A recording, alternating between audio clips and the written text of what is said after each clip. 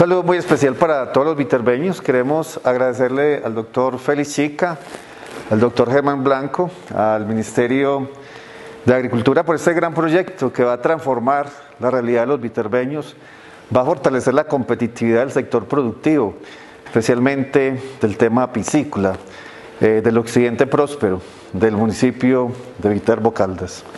Un compromiso que el ministerio asumió hace un año y con determinación, en cabeza de nuestra secretaria general, la doctora Marta Rodríguez, del ministro eh, Rodolfo Sea y del gobierno nacional en cabeza del presidente de la República, eh, Iván Duque Márquez, le está cumpliendo a los viterbeños y a Caldas. Esta es la forma como seguimos generando desarrollo, dinamizando la economía, reactivándola y ante todo cumpliéndole a la provincia.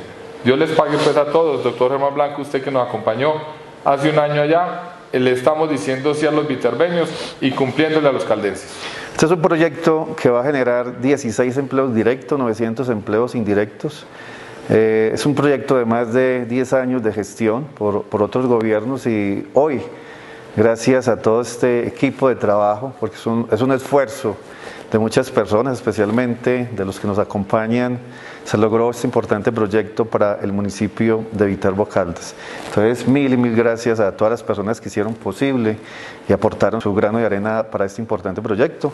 Doctor Germán Blanco, también usted fue una persona muy, muy importante en este proceso. Alcalde, presencia y compromiso en el territorio y agradecerle profundamente al doctor Iván Duque, presidente de la República, y al Ministerio de Agricultura. Sin ellos esto no es una realidad.